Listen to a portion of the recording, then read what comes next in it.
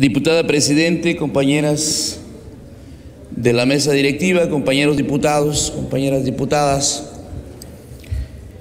y público en general, saludamos la presencia de un grupo de compañeros que pertenecen a un sector de anfitriones en el estado de Quintana Roo, que abarca alrededor de 10 mil familias, más otras 20 mil familias que de una u otra manera dependen de este giro. Ellos estuvieron acá en el Congreso explicando su problemática. Los recibimos eh, el compañero José de la Peña, que no está porque tiene un problema familiar. Estuvo el compañero Carlos Hernández Blanco, que es de la Comisión de Turismo. El compañero Eduardo Martínez Arcila, el compañero Batún y creo que estuvo también la compañera Iris Mora y un servidor. Ellos hicieron una exposición de motivos del por qué consideran injusta las medidas que se están planteando en la iniciativa de ley que se acaba de leer y pidieron ser escuchados. En lo general, la posición de los diputados presentes fue esperanzadora e inclusive pues hubo el compromiso, ¿no? También hablaron con el presidente de la Junta de Gobierno y Coordinación Política, el compañero Edgar Humberto Gasca Arceo. También explicaron el problema. Y ellas, encabezadas y encabezados, porque hay compañeros también, por la compañera Gabriela Rodríguez, también estuvo el compañero, efectivamente, este, eh, eres bastante.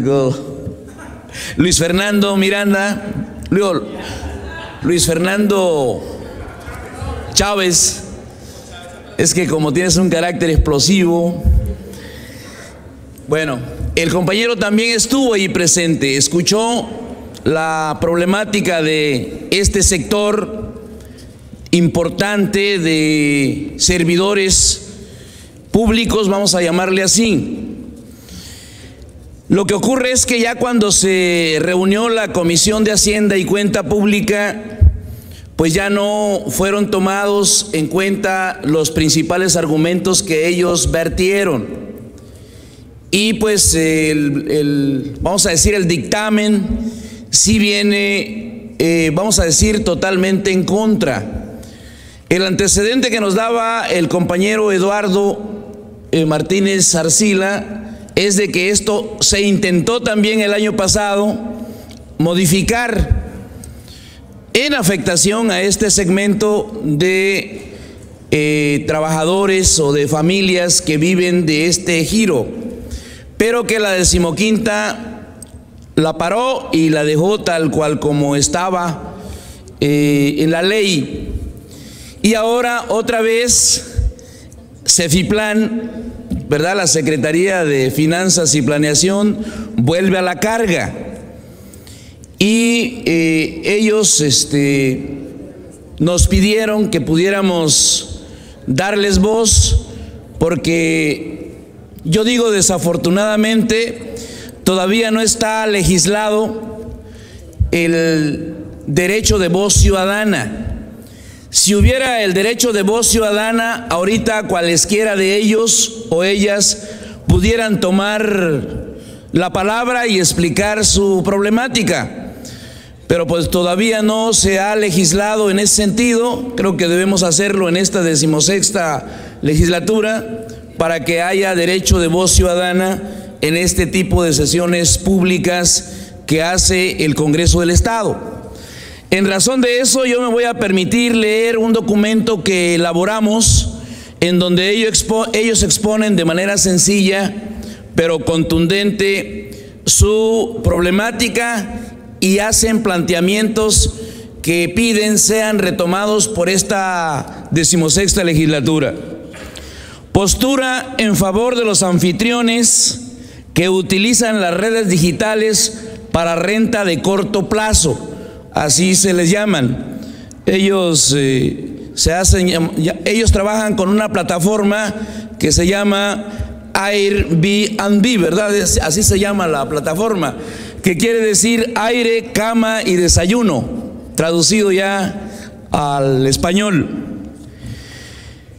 Congruente con mis principios democráticos y mi convicción de apoyar las causas nobles de la población quintanarroense, acudo a esta tribuna para apelar a la conciencia y a un principio de equidad y justicia.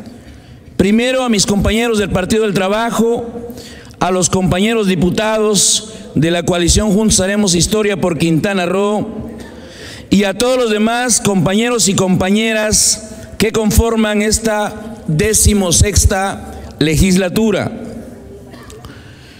Para evitar que se cause un atentado al turismo, como lo comenté en varias de las reuniones sobre este tema, los anfitriones de las rentas a corto plazo no pueden ser considerados y tratados fiscalmente como a las grandes corporaciones hoteleras. Por eso no estamos de acuerdo con la sobreregulación, el terrorismo fiscal, la inequidad, el ataque permanente hacia este sector de nuestra sociedad que solo ha impulsado y fortalecido al destino turístico como una opción adicional. No estamos de acuerdo en la propuesta de modificación a la ley del impuesto al hospedaje del Estado, en donde se incorpora la obligación a cargo de los anfitriones de inscribirse en el padrón de contribuyentes y obtener su licencia de funcionamiento. Todos sabemos que una licencia de funcionamiento es recaudatoria y que aunque ahorita están diciendo que es gratuita, más temprano que tarde, cuando haya un refrendo, seguramente van a pedirles que paguen algún impuesto, ya que muchos de, los anfitriones viven en, en esa casa, es decir, en sus casas, y solo en temporadas la ofrecen en renta no es un negocio de tiempo completo. Se violenta el artículo 16 constitucional que a la letra dice, toda persona tiene derecho a la protección de sus datos personales, al acceso, rectificación y cancelación de los mismos, así como a manifestar su oposición en los términos que fije la ley. Este padrón no es fiable y puede ser objeto de que los datos personales de los anfitriones caigan en manos de la delincuencia.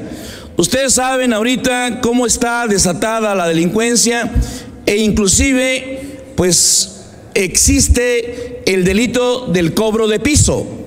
Entonces, eh, a darle licencia de funcionamiento y hacer un padrón aunque ellos ya están registrados porque pagan el ICR, el impuesto sobre la renta y demás impuestos, la luz, el agua, eh, el IVA, etcétera. Eh, nosotros sí pensamos que por miedo a la situación imperante de inseguridad que prevalece en nuestra sociedad, ellos no están de acuerdo con esta medida. No estamos de acuerdo a la modificación del Código Fiscal del Estado en donde se adiciona al anfitrión responsable solidario en el supuesto de que la plataforma omita su inscripción en el padrón de contribuyentes. Esto es inaceptable, como se pretende que los mexicanos, cómo se pretende que los mexicanos seamos responsables solidarios de una empresa extranjera cuyo domicilio fiscal y sede principal se encuentra, por decir un ejemplo, en San Francisco, en California, en Estados Unidos. Además que no existe ningún mecanismo para definir cuánto es lo que pagan al Estado y si es además lo correcto del impuesto que pagan. Considero que no se debe reformar ningún artículo que violente las garantías individuales y el derecho a la propiedad. La Secretaría de Turismo ha manifestado reiteradamente que debe haber piso parejo. ¿Será que las prerrogativas que le otorgan los hoteleros no le permiten ver que las cadenas hoteleras facturan en el extranjero a más del 80% de su hospedaje? Y que el 3% que pagan al Estado no es lo que en realidad deben pagar. ¿Será que no ve que el concepto de todo incluido daña severamente a la economía local? ¿Será que no ve cómo en tres años que se opera con estas plataformas, la economía alrededor de las casas anfitrionas se ha fortalecido y activado?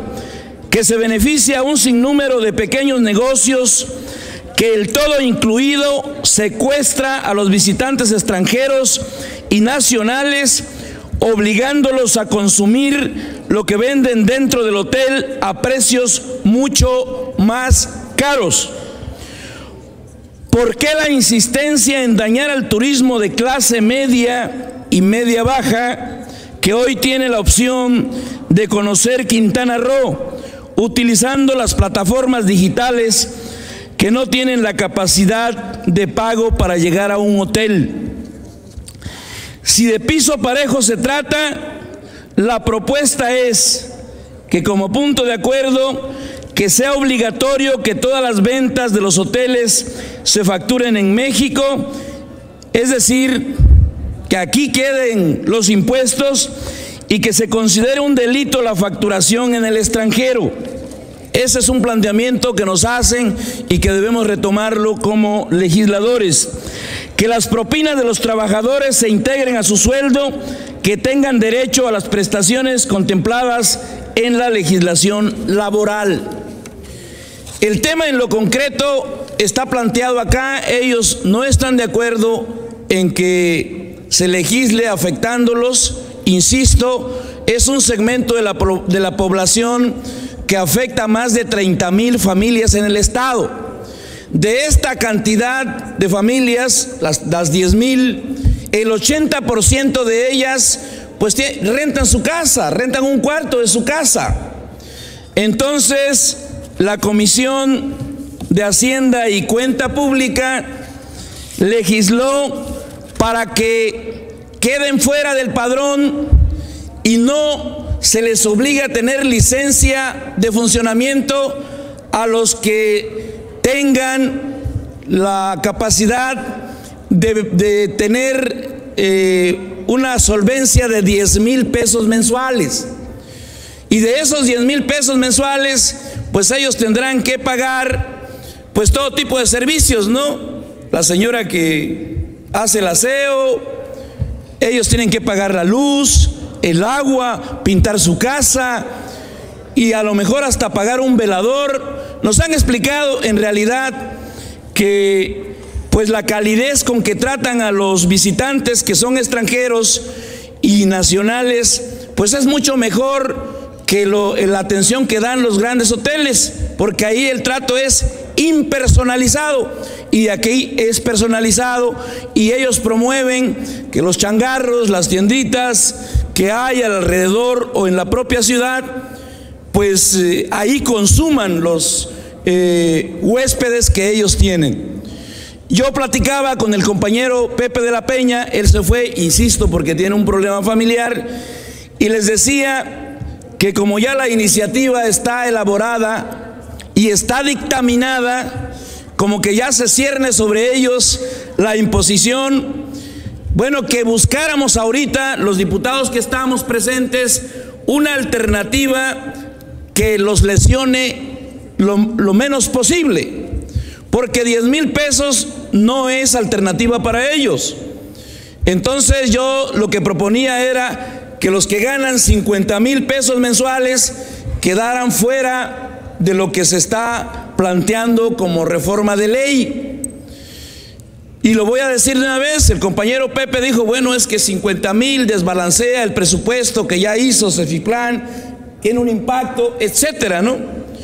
yo le decía, sí, pero no vamos a sacrificar un segmento que es pueblo, que es clase media, baja, media, media, o es la gente del piso y a lo mejor hasta alguna gente del sótano, en realidad, este, yo creo que nosotros como legisladores nos nombraron para servir al pueblo y no para afectar al pueblo. Entonces él me decía, bueno, pues lo dejemos en 30 mil. Afortunadamente no está el compañero Pepe, este, se fue, pero yo soy el portador de esa plática que tuvimos. Y yo sí quisiera, compañeros, que la comisión que viene representando a estas 10 mil familias que están aquí en la parte central, pues se fueran con un buen sabor de boca en el sentido de que si no podemos atender en el fondo todo su planteamiento, pues por lo menos sí le demos una alternativa que defienda su economía familiar, que defienda el segmento de esta economía popular. Yo dejo el planteamiento, espero que haya la sensibilidad suficiente por parte de mis diputados y mis diputadas de esta decimosexta legislatura y pudiéramos darles una respuesta satisfactoria a esta comisión que son quintanarroenses, que tienen una forma de vivir porque la crisis no les ha dejado más alternativa que rentar sus casas. Esa es la verdad. Es mi planteamiento y yo sí lo dejo a la opinión de ustedes, esperando que su sensibilidad, por ser diciembre, por el espíritu decembrino, porque efectivamente en este mes se hace un corte de caja de la vida que llevamos, de las victorias, de las derrotas, de los problemas que hemos tenido y en donde los principios y los valores morales se deben poner muy por encima, que son fundamentalmente el respeto, la confianza y sobre todo la solidaridad. Apelo a su buen corazón y a su solidaridad y a su buen juicio de legisladores. Es cuanto.